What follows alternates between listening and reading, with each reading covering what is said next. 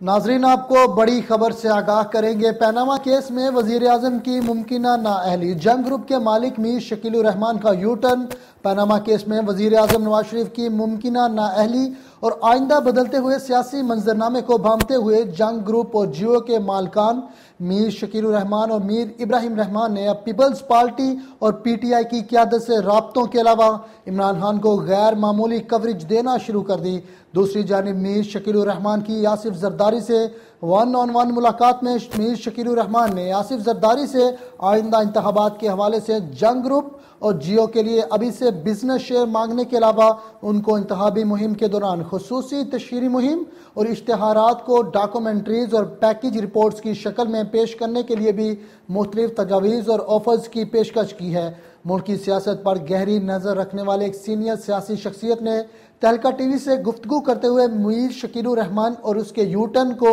آئندہ ملکی منظرنامے سے جوڑنے کی کوشش کی ہے، جبکہ سفارتی حلقوں کی خبر رکھنے والے ایک سینئر تجزیہ کار کے مطابق آصف علی زرداری سے میر شکیل الرحمان کی خصوصی ملاقات اور جیو نیوز پر عمران خان کی کوریج میں غیر معمولی اضافے کا تعلق پیناما کیس کے فیصلے میں وزیر اعظم نواز شریف کی ممکنہ نااہلی کے بعد آئندہ ملکی سیاسی منظرنامے میں پیپلز پارٹی اور پی ٹی آئی کے اہم کردار سے کافی جڑا ہوا ہے۔ آپ کو بڑی خبر سے آگاہ کر رہے ہیں۔ پیناما کیس میں وزیر اعظم کی ممکنہ نااہلی جنگ گروپ کے مالک میر شکیر الرحمان کا یوٹن پیناما کیس میں وزیر اعظم نواز شریف کی ممکنہ نااہلی اور آئندہ بدلتے ہوئے سیاسی منظرنامے کو بھامتے ہوئے جنگ گروپ اور جیو کے مالکان میر شکیل الرحمان اور میر ابراہیم الرحمان نے پیپلز پارٹی اور پی ٹی آئی کی قیادت سے رابطوں کے علاوہ عمران خان کو غیر معمولی کوریج دینا شروع کر دی۔